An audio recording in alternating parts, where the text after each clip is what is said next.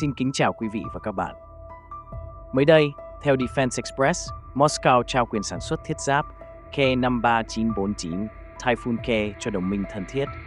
Ấn Độ sẽ sản xuất thiết giáp K-53949, nhưng chưa rõ New Delhi nội địa hóa những gì, bởi Typhoon K gần như cấu tạo hoàn toàn từ linh kiện phương Tây. Ấn Độ vẫn muốn tiếp tục hợp tác quốc phòng với Liên bang Nga, bằng chứng là hình ảnh các cuộc thử nghiệm xe bọc thép Cam Asset K53949 Typhoon K do doanh nghiệp nhà nước Armored Vehicles Nigam Limited AV lắp ráp đã được đăng tải. Điều đáng chú ý nữa là AVNL được thành lập do sự hợp nhất của 7 doanh nghiệp quốc phòng khác nhau vào năm 2021 và danh mục của họ bao gồm việc sản xuất xe tăng T-72, T-90 và xe chiến đấu bộ binh BMP-2 theo giấy phép. Tuy vậy cho đến nay, công ty trên vẫn chưa bình luận về việc xuất hiện thông tin liên quan đến kế hoạch nội địa hóa loại xe bọc thép Cam AZ K53949 Typhoon K của Nga. Đồng thời, sự xuất hiện của K53949 tại quốc gia Nam Á này rất có thể có liên quan đến ý định đặt mua 800 xe bọc thép hạng nhẹ của Bộ Quốc phòng Ấn Độ. Phương tiện của Nga sẽ cạnh tranh trong cuộc đấu thầu với các sản phẩm khác. Tuy nhiên, khi nói đến việc nội địa hóa một số mẫu thiết bị quân sự của Nga, câu hỏi đặt ra là liệu đối tác có tìm được đầy đủ những thành phần cần thiết trong bối cảnh Moscow chịu nhiều lệnh cấm vận. Điển hình như chiếc thiết giáp Nga đang sử dụng động cơ Cummins 15 lít, có công suất 350 mã lực mua từ Mỹ. Mặc dù vậy, trái tim này về mặt khách quan bị nhận xét là không đủ cho K53949 Typhoon K nặng tới 17 tấn. Khả năng bảo vệ của vỏ giáp có thể chống lại đạn 7,62554mm và mìn trọng lượng 8 kg nổ dưới gầm, tương ứng với tiêu chuẩn Stanag 4569 Level 3. Tuy vậy, khung gầm lại sử dụng cầu Timony nhập khẩu từ Ireland. Và nhìn chung, hầu hết mọi bộ phận của K53949 đều do các nhà sản xuất phương Tây cung cấp. Điều này giải thích một cách hoàn hảo xe bọc thép K53949 Typhoon K giống như nhiều thiết bị hiện đại khác của Nga lại không được sản xuất hàng loạt khi nhu cầu từ chiến trường là rất lớn. Bởi vậy, câu hỏi Ấn Độ sẽ nội địa hóa chính xác những gì từ chiếc xe bọc thép này của Nga trở nên vô cùng thú vị. Kể cả khi lập một liên doanh và New Delhi đứng ra làm đầu mối mua sắm, rất ít khả năng phương Tây sẽ đồng ý cung cấp linh kiện thiết yếu. Đầu thời gian năm 2016, giới quân sự rộ lên tin về việc Nga muốn bán xe bọc thép Tifun K cho Việt Nam và một số nước Đông Nam Á. Nhưng đến năm 2024, vẫn chưa thấy một tín hiệu rõ ràng rằng kế hoạch đó được thực hiện. Nhất là cuộc chiến tranh giữa Nga và Ukraine vẫn tiếp tục diễn ra, thì có lẽ điều đó là không thể. Trước đó, phòng báo chí tập đoàn Rosoboron Export cho biết hãng này sẽ thúc đẩy mạnh mẽ việc xuất khẩu xe bọc thép Typhoon K Kamaz 53949 4 x 4 bánh ra thị trường ngoài. Theo Tổng Giám đốc Anatoly Isaikin thì Typhoon Care có thể được bán trên thị trường Bắc Phi, Trung Đông, Đông Nam Á, Mỹ Latin và khối CS. Typhoon Care được thiết kế hoạt động trong lực lượng quân đội, lực lượng tác chiến đặc biệt và gồm cả quân gìn giữ hòa bình. Nó có thể chở binh sĩ, hàng hóa và cũng có thể sử dụng làm nền tảng cơ sở lắp đặt các loại vũ khí và hệ thống kỹ thuật.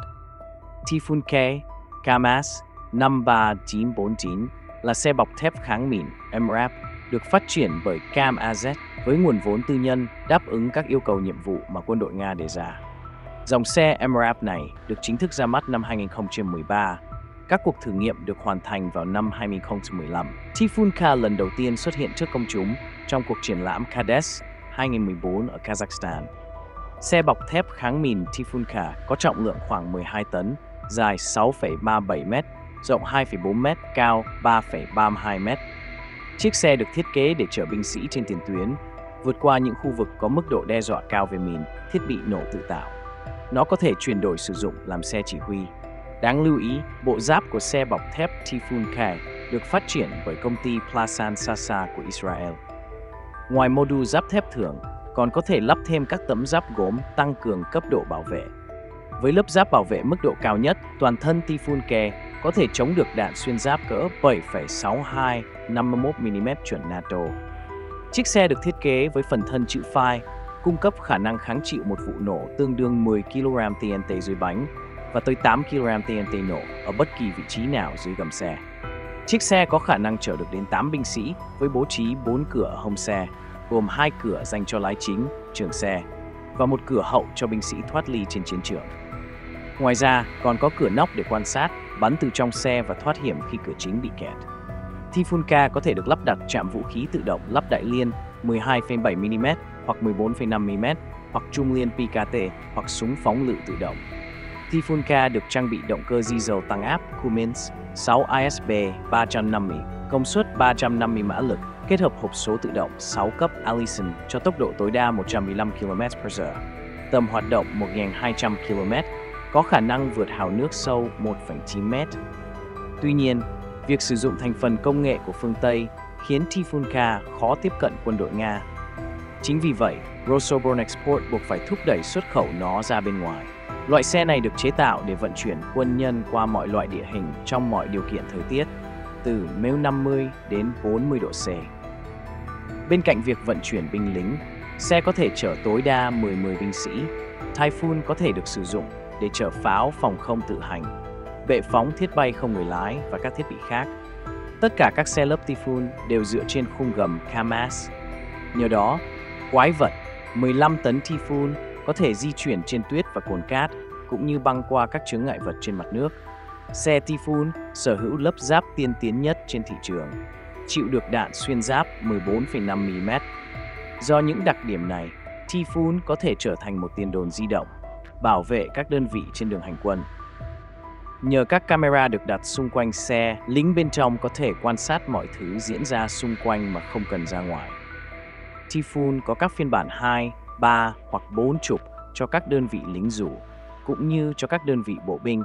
Không biết, dự án Moscow trao quyền sản xuất thiết giáp K53949 Typhoon cho New Delhi có nằm trên sự thỏa thuận khi ngày 8 tháng 7, Thủ tướng Ấn Độ Narendra Modi đã đến Moscow, bắt đầu chuyến thăm Nga theo lời mời của Tổng thống Vladimir Putin. Đây là chuyến công du nước ngoài đầu tiên của Thủ tướng Modi kể từ khi tái đắc cử và cũng là chuyến công du đầu tiên của ông tới Nga sau 5 năm. Trong khuôn khổ chuyến thăm kéo dài 2 ngày, Tổng thống Nga và Thủ tướng Ấn Độ sẽ hội đàm, thảo luận về triển vọng phát triển hơn nữa mối quan hệ song phương, cũng như các vấn đề liên quan trong chương trình nghị sự quốc tế và khu vực. Người phát ngôn Điện Kremlin Dmitry Peskov cho biết, đây là chuyến thăm có ý nghĩa quan trọng. Hai nhà lãnh đạo sẽ có những cuộc trao đổi không chính thức Trợ lý Tổng thống Nga Yuri Ushakov cho biết, Nga coi trọng tối đa chuyến thăm này của Thủ tướng Ấn Độ. Video của Báo Quân đến đây xin tạm dừng. Xin kính chào quý vị và các bạn. Hẹn gặp lại những video sau.